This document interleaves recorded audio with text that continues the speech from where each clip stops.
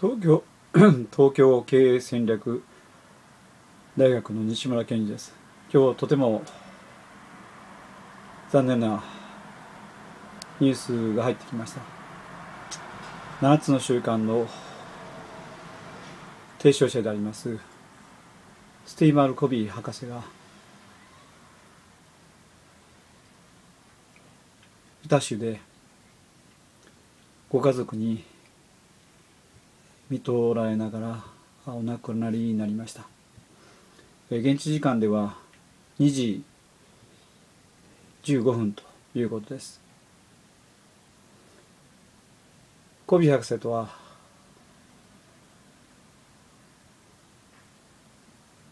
1990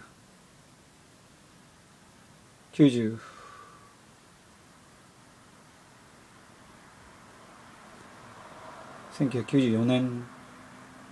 にご縁がありまして、まあ、7つの習慣と出会いそしてその後2年後にユタ州のソルトレイクでお会いしました。その時写真も撮らせていただきました。一緒に行った仲間と撮ったんですが、えみんなが私と撮った博士の写真が最も博士がニコニコしていらっしゃるということで大変嬉しくその写真を見たことを覚えております。ご本人の冥福とまたご家族の方々あるいは7つの習慣関係者の皆さんまた7つの習慣読者やファンの方に心よりお悔やみを申し上げます。博士の偉大な功績は7つの習慣を世界2000万部出版した以上のものだと言います。多くの人の